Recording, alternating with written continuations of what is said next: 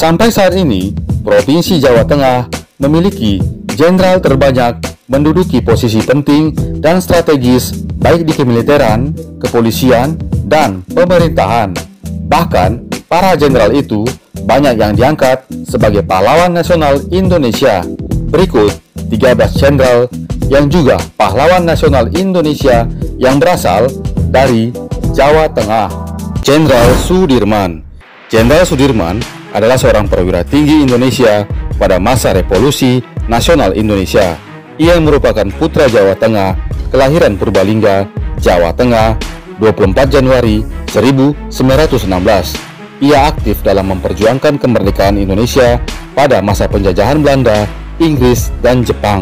Dia adalah Panglima Besar Tentara Nasional Indonesia yang pertama setelah kemerdekaan Indonesia. Ia juga salah satu pendiri BKR atau Badan Keamanan Rakyat. Pada tanggal 12 November 1945, ia diangkat menjadi Panglima Besar TKR atau Panglima TNI. Di tahun 1948, ia turut serta memberantas pemberontakan PKI di Madiun dan perlawanan agresi militer Belanda yang kedua. Di tahun 1949, ia memimpin serangan umum 1 Maret di Yogyakarta. Dan di tahun itu juga, ia mulai sakit-sakitan dan meninggal pada tanggal 29 Januari 1950. Jenderal Sudirman diangkat menjadi pahlawan nasional Indonesia pada tanggal 10 Desember 1964 oleh Presiden Soekarno. Jenderal Ahmad Yani Jenderal Ahmad Yani adalah seorang purnawirawan perwira tinggi TNI Angkatan Darat Indonesia. Ia merupakan putra Jawa Tengah, kelahiran Purworejo, Jawa Tengah, 19 Juni 1922. Ia aktif memperjuangkan kemerdekaan Indonesia saat penjajahan Belanda, Inggris, dan Jepang. Dia juga pernah ditugaskan dalam memberantas pemberontakan DITII dan pemberontakan PRRI. Jabatan terakhirnya di kemiliteran adalah Panglima Angkatan Darat atau Kasat. Diketahui, ia adalah salah satu pahlawan revolusi yang gugur yang menjadi korban tragedi Gerakan 30 September. Jenderal Ahmad Yani diangkat menjadi pahlawan nasional Indonesia pada tanggal 14 Oktober 1965 oleh Presiden Soekarno. Namanya diabadikan menjadi Bandar Udara Internasional di Semarang, Jawa Tengah. Marsikal Muda Agustinus Adi Sucipto. Marsikal Muda Agustinus Adi Sucipto adalah seorang purnawirawan perwira tinggi TNI Angkatan Udara. Ia merupakan putra Jawa Tengah, kelahiran Salatiga, Jawa Tengah, 3 Juli 1916. Ia merupakan bapak penerbang Indonesia. Ia aktif dalam memperjuangkan kemerdekaan Indonesia saat penjajahan Jepang dan Belanda. Tercatat, bersama dengan Marsikal Muda Abdul Rahman Saleh, mereka terbang dari India menuju Pakistan dan Singapura untuk mengangkut bantuan obat-obatan palang merah Malaya. Dalam perjalanan pulang, pesawat mereka ditembaki oleh pesawat Belanda dan mereka gugur sebagai kusuma bangsa. Marsekal muda Agustinus Adi Sucipto diangkat menjadi pahlawan nasional oleh Presiden Soekarno dan namanya diabadikan menjadi Bandar Udara Internasional di Yogyakarta. Legend Raden Suprapto Legend R. Suprapto adalah purnawirawan perwira tinggi TNI Angkatan Darat. Ia merupakan putra Jawa Tengah, kelahiran Purwokerto, Jawa Tengah 20 Juni 1920. Ia aktif memperjuangkan kemerdekaan Indonesia saat penjajahan Belanda dan Jepang. Tercatat, ia pernah menjadi ajudan Panglima Besar Jenderal Sudirman dan ia diangkat menjadi Wakil Kepala Staf Angkatan Darat. Diketahui, ia adalah salah satu pahlawan revolusi yang gugur menjadi korban tragedi Gerakan 30 September. Legend R. Suprapto diangkat menjadi pahlawan nasional Indonesia pada tanggal 4 Oktober 1965 oleh Presiden Soekarno. Jenderal Gatot Subroto Jenderal Gatot Subroto adalah purnawirawan perwira tinggi TNI Angkatan Darat yang juga tokoh perjuangan militer Indonesia. Ia merupakan putra Jawa Tengah, kelahiran Banyumas, Jawa Tengah, 10 Oktober 1907. Ia aktif dalam memperjuangkan kemerdekaan Indonesia pada masa penjajahan Belanda dan Jepang.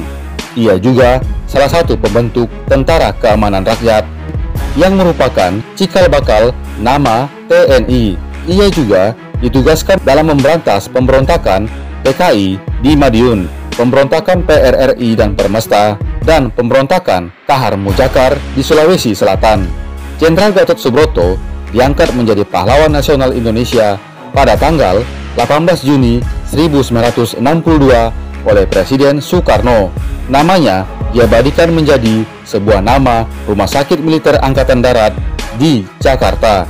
Laksamana Yosapat Sudarso Laksamana Yosudarso adalah punawirawan perwira tinggi TNI Angkatan Laut. Ia merupakan putra Jawa Tengah, kelahiran Salatiga, Jawa Tengah, 24 November 1925. Ia aktif memperjuangkan kemerdekaan Indonesia masa penjajahan Belanda dan Jepang.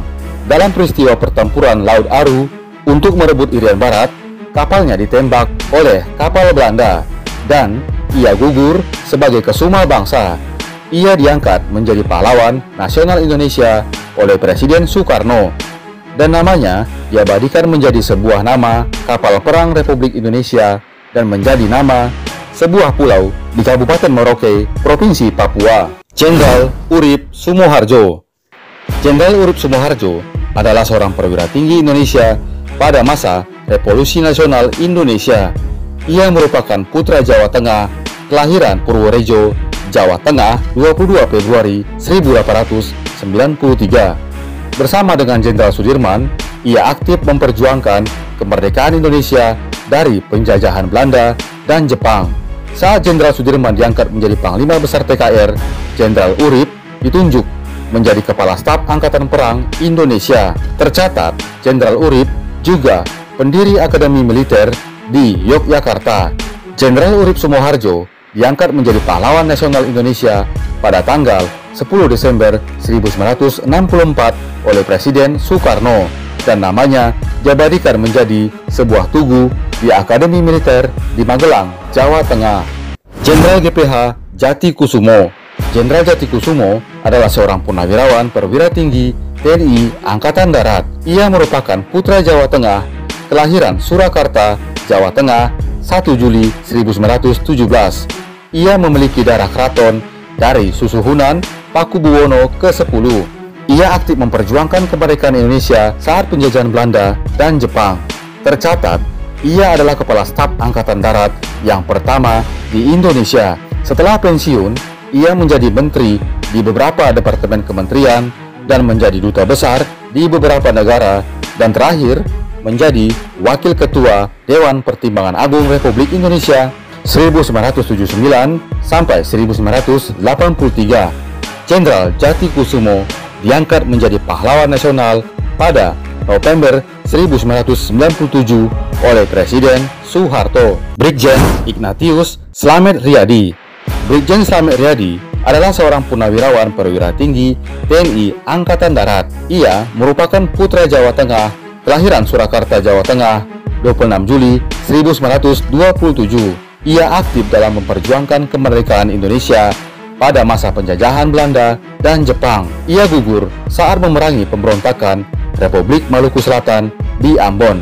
Brigjen Slamet Riyadi diangkat menjadi pahlawan nasional Indonesia pada tanggal 9 November 2007 oleh Presiden Susilo Bambang Yudhoyono dan namanya diabadikan menjadi nama sebuah kapal perang, menjadi sebuah nama universitas di Surakarta, dan menjadi sebuah patung di Surakarta, Jawa Tengah. Majen Siswondo Parman Majen S. Parman adalah seorang purnawirawan perwira tinggi TNI Angkatan Darat.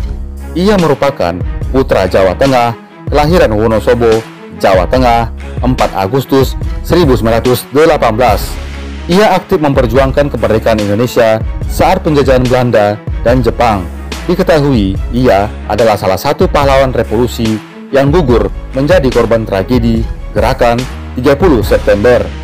Maijen S. Parman diangkat menjadi pahlawan nasional Indonesia pada tanggal 4 Oktober 1965 oleh Presiden Soekarno. Maijen Sutoyo Siswo Miharjo Maijen Sutoyo Siswo Miharjo adalah seorang punawirawan perwira tinggi TNI Angkatan Darat. Ia merupakan putra Jawa Tengah, kelahiran Kebumen, Jawa Tengah, 28 Agustus 1922. Ia aktif memperjuangkan kemerdekaan Indonesia saat penjajahan Belanda dan Jepang. Diketahui, ia adalah salah satu pahlawan revolusi yang gugur menjadi korban tragedi Gerakan 30 September.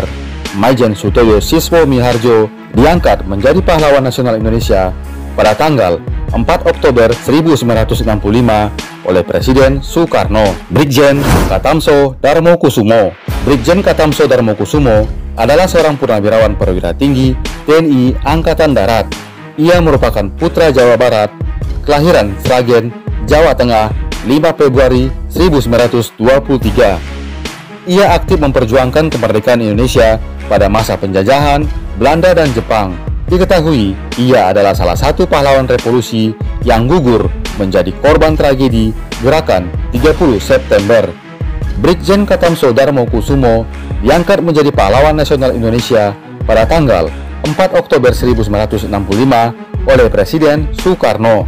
Legend Pakubuwono ke-10 Legend Pakubuwono ke-10 adalah susuhunan ke-9 dari Kesunanan Surakarta. Ia aktif dalam memperjuangkan kemerdekaan Indonesia pada masa penjajahan Belanda. Ia terlibat memfasilitasi terbentuknya pergerakan Budi Utomo dan Sarekat Dagang Islam. Legend Pakubuwono ke-10 diangkat menjadi pahlawan nasional Indonesia pada tahun 2011 oleh Presiden Susilo Bambang Yudhoyono.